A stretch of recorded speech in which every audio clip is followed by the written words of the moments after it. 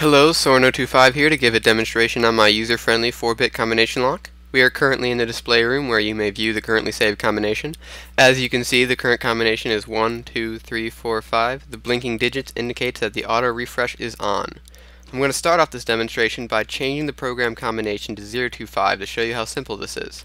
You start off by enabling programming, press this button to clear the currently saved combination, and just enter a new one. 0, 2, 5. And that's it. You want to unenable programming to allow users to be able to enter in new combinations at the keypad and so you don't accidentally just hit buttons and mess up the combination. So I'm just going to sit here and let the auto refresh uh, change the display to the new combination.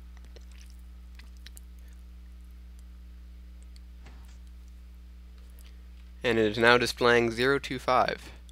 Now let's move on to the keypad.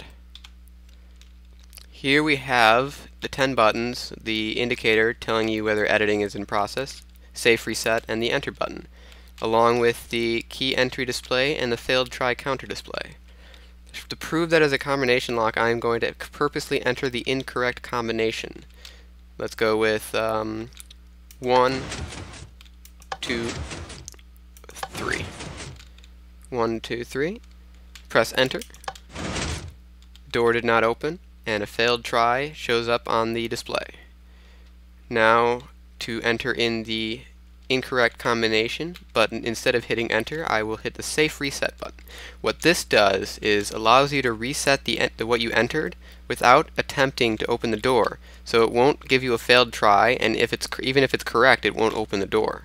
So let's do one, two, three safe reset.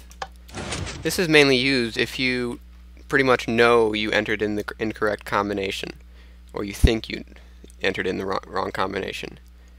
And now to enter in the correct combination, which is 0, 2, 5, and enter, and the door opens. Now, the for the final demonstration, I am going to continuously hit the enter button, triggering all of the failed tries. And three. Okay, in this stage, once three failed tries or uh, failed attempts happen, it completely locks down the keypad. No new entries can be entered. And that concludes the demonstration of my user-friendly 4-bit combination lock. Please diamond if you like what you see, and um, leave a comment. This is Soren025, out.